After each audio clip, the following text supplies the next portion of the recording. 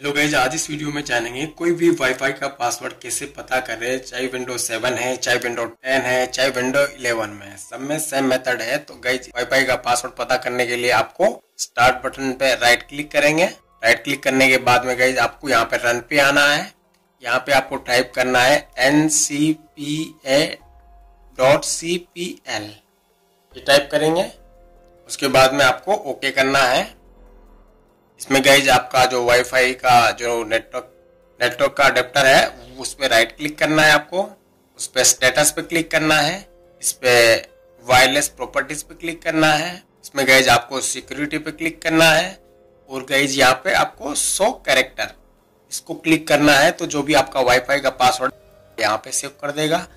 इस प्रकार से आप गाइज़ कोई भी वाईफाई का पासवर्ड इस प्रकार से पता कर सकते हो। आई होप गाइज़ ये वीडियो आपको पसंद आया होगा। अगर पसंद आया तो प्लीज़ लाइक करें, अपने दोस्तों के साथ में शेयर करें। ऐसी नई नई टेक्निकल वीडियो के लिए प्लीज़ चैनल को सब्सक्राइब करें। फिर मिलते हैं नई वीडियो के साथ में। तब तक के लिए बाय